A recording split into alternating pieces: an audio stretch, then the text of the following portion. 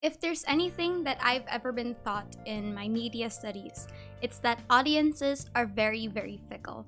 Audiences can tell you that they want to do something or they want something in a particular piece of media, but they're not going to be able to actually enjoy it once you put it out.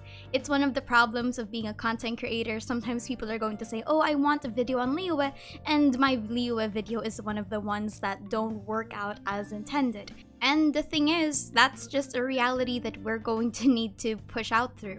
And in the context of Genshin Impact, I have several criticisms in the game's current state and several criticisms on how we're dealing it with as a community. So the first thing that I want to preface this video with is that 2.7 should not be rushed.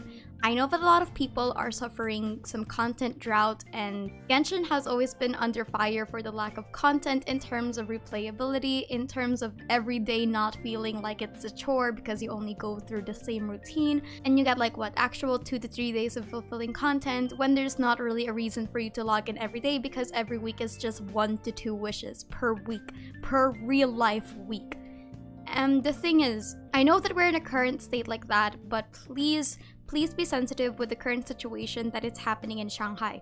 There is no confirmation, by the way, that the current delay is because of that, but whether we like it or not, there is a delay and we do need to be careful with what's happening and what we say online because there are people that are actually deeply, deeply affected by this, and it's clear that MiHoYo's employees, or at least the people that are working on Genshin Impact to a really big extent, are also affected by the current situation that's happening in Shanghai.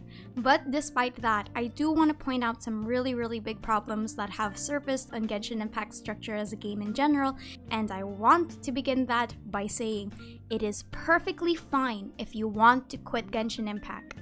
A lot of people have been saying that you shouldn't complain about the Primogems or you shouldn't complain about the lack of content because of the Shanghai situation, when in reality, people have already been criticizing Genshin's state as a game from the very beginning, and it's just that we're seeing now what happens when Genshin Impact doesn't have any updates. The problem with Genshin's structure as a game is that it's a game that relies heavily on constant pumping out of material. Think of it like this it's very much like a content creator. It's someone that needs to keep their relevancy constantly because it's not a finished product. We as content creators constantly need to pump out videos because we don't want to shrivel up and die because we're not a finished product.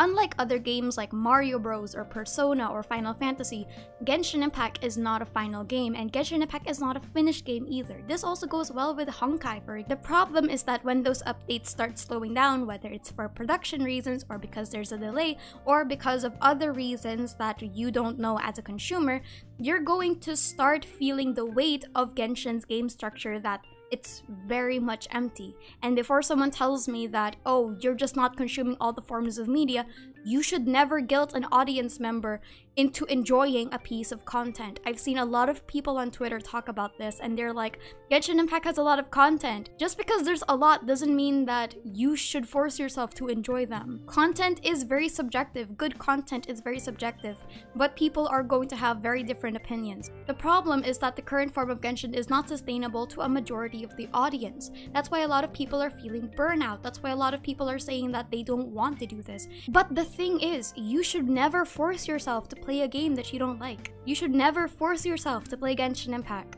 So for me personally, I've stopped playing Genshin Impact religiously ever since 1.6. The reason that I'm here right now is because of the lore, but I don't actually play the game consistently. And I think a lot of people have also defended the game because it's a resin-based system and they have lives, according to them. They have jobs, they have other priorities, they have other games, and that's why they appreciate Genshin Impact structure. And that's perfectly valid. Honestly, that's really, really valid. And honestly, I really wish there would be more games like that. But the problem is you can't also ignore the other spectrum of people that actually want to play Genshin Impact those fans are also valid in terms of their opinion because they want to play Genshin. They want to immerse themselves into 4 to 5 hours of the game, and Genshin is just not providing them. So you should never fault them into leaving, or you shouldn't fault them for staying in the first place. Yes, they do have a very different playstyle, but you have to remember that Genshin Impact's main appeal was the escapism. Escapism is really difficult to achieve when you're going to have real life blocks in between. For example, if you have an Archon quest, you're going to want to immerse yourself yourself in the Archon quest, not just have like a sudden cliffhanger and then you're going to need to wait in real life days to finish that.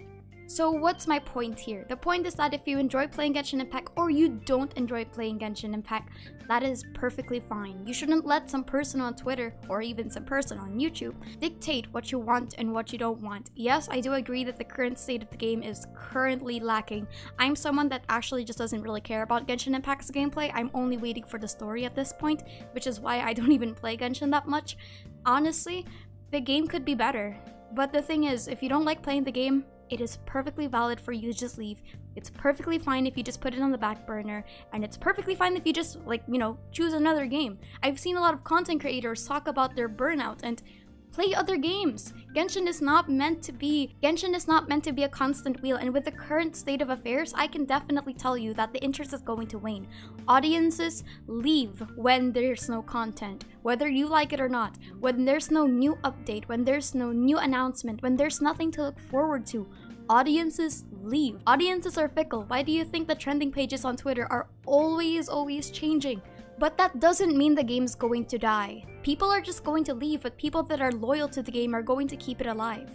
So no, Genshin Impact is not dying, but no, you're not wrong that there is nothing new that's happening right now. And no, you're not wrong about having your own distaste of the game. And no, you're not at fault for liking the game even if it's at its current state. I think that we should just accept that as a community we are different and that we have different opinions. I think that a lot of people are talking about the burnout or the Genshin lack of content, but some people are praising that they're just here for the casual stuff and they're just here to open it for 30 minutes a day and they just do it, you know, the chill way where they just do commissions and stuff like that.